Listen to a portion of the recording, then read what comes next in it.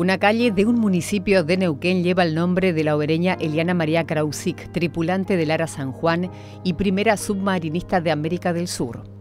El intendente de la ciudad neuquina participó del acto de imposición de nombres de dos calles de la isla 132 como Ara San Juan y teniente de navío Eliana María Krausik en homenaje a los 44 tripulantes del submarino argentino desaparecido en el mar el 15 de noviembre a las 7.30 del año 2017. El director de prensa y comunicación expresó que de esta forma se preserva eternamente el recuerdo de estos héroes en la ciudad.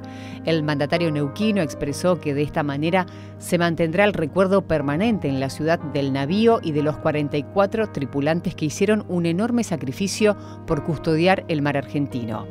Hay que recordar que en nuestra provincia, en Garupá, se le brindó homenaje al submarinista misionero Jorge Ortiz, desaparecido con el Ara San Juan. El Polideportivo y la Delegación Municipal de Garupá en el barrio Ñuporá fueron bautizados con el nombre de Cabo Jorge Isabelino Ortiz, en memoria de uno de los dos tripulantes misioneros a bordo del submarino Ara San Juan.